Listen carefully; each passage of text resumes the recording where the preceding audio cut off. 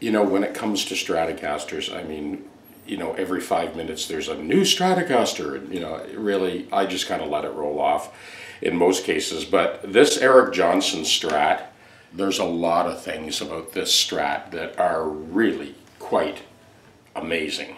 You've seen those step down tuners before, which in this case completely eliminate the string trees. And with the amount of bending that Eric Johnson does, you, you can see why they did that. The fingerboard is almost dead flat at the top. It is a compound radius, but it goes almost dead flat at the top. Uh, this is set up with 11 to 49 string. They were the strings that Jeff chose. It's uh, now regulated, intonated. You know, we made up that uh, self-adjusting radius gauge that you see me doing a bunch of other guitars. This is another study in sixths. In this case, it's in the key of A major or F sharp minor, but I'm kind of leaning more towards A major in this case. And it's just a, a progression that I've looped. I'm going to bring it in a little closer to the fingerboard and kind of explain as I go the sixth on the different groups of strings and how I'm kind of using them uh, in the context of uh, this chord progression is just kind of just to build some compositional ideas or improvisational ideas. Okay, so we're going to go from one group of strings to the next. So starting with the second and the fourth strings, we've got this, this diatonic six in A major.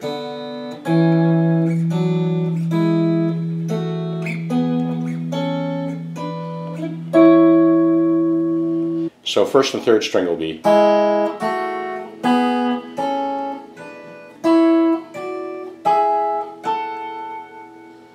And then the third and fifth string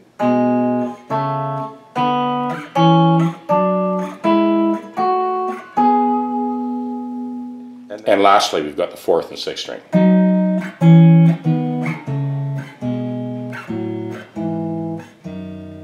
Uh, if I take that uh, second and fourth string that I showed you a second ago, and I add a note on the top string, we get this.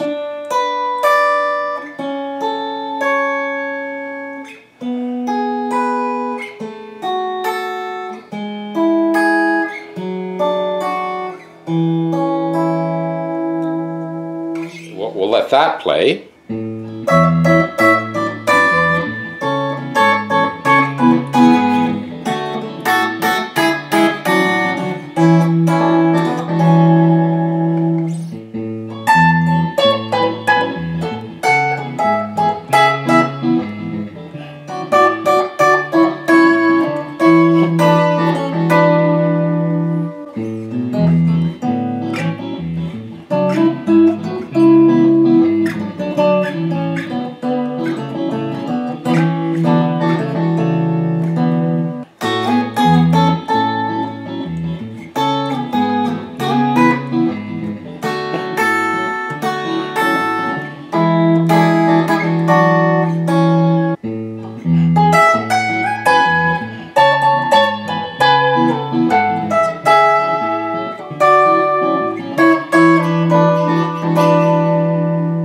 Okay, this is the third part that I added, and this is on the, the third and fifth string. I'm following that rhythm and just kind of harmonizing with what's already there, just in lower voicings. So it's something like this. I don't know if this is it verbatim, I'm just doing this on the fly for you guys, but yeah, so this is the last voice, the bass voice.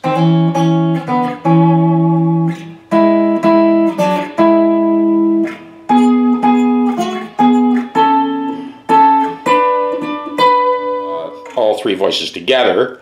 And now I'll blow some single line stuff over top of that.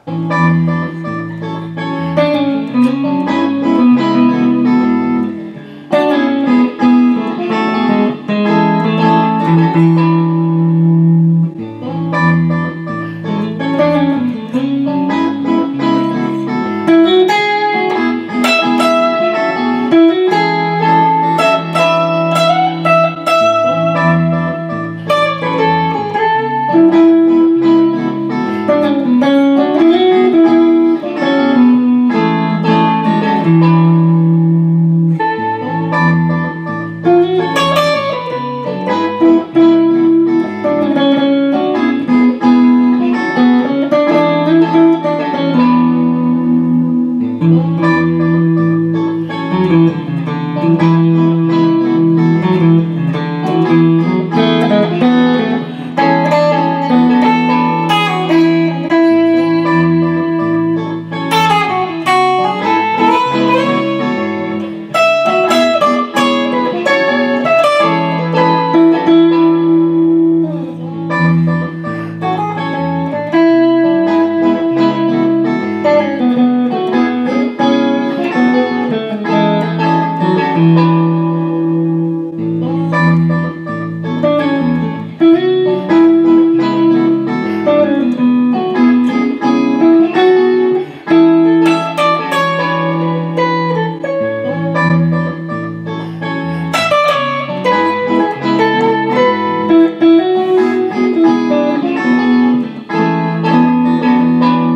Jeff had indicated there was some type of special system in here. Maybe I'll take a peek before before it leaves. So, uh, so this guitar is virtually dead silent. Like, can you hear anything? The amp's up, right?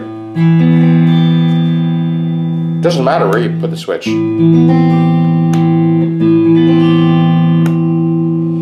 It also has a much thicker neck, but a much thicker sound. I mean, it almost sounds more like a Gibson than a Fender. Quick last check. A minor 9, first position. Same chord, octave higher. Same, here's an E.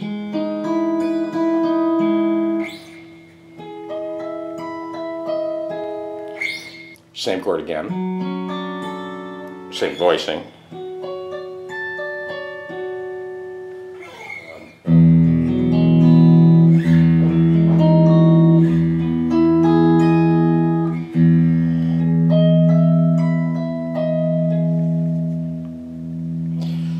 Well, suffice it to say that this guitar is perfectly in tune. Nice guitar to play too, actually.